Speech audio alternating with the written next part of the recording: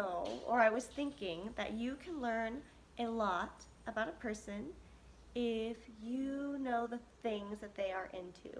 So I thought today I would share some of my obsessions with you.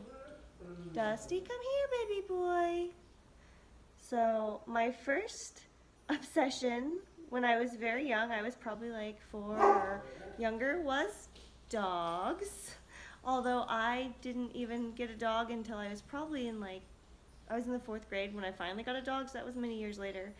Um, but somebody told me I could have a dog when I was eight. Someone in my family who wasn't my mom. So I really was like excited to being eight. So eight also is my favorite number because of that. Uh, but I didn't get a dog when I was eight since my mom wasn't the one who had agreed to that. So it didn't work that way. Uh, but eventually I did get my dog and and I became extremely obsessed with dog training when I was in fourth grade. And I was obsessed with dog training for quite a few years um, after that.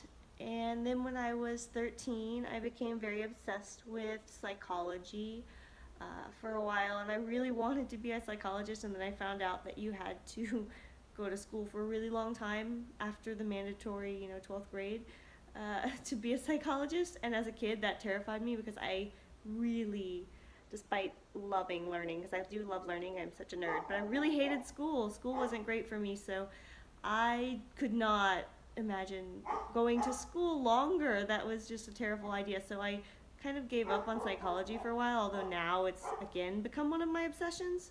And also dog training is also was one of my obsessions recently, and it's still an obsession. But I have four dogs, and so I'm always doing dog training. Um, but so those things tend to come back around. I was obsessed uh, through high school with singing and music, and think that's another thing that comes back around to me. It's always um, very therapeutic to sing and enjoy music. So that's something that I've always loved. Uh, I've got a keyboard and I'm teaching myself a little keyboard and piano so I can maybe write some music again because I used to do that um, in high school as well.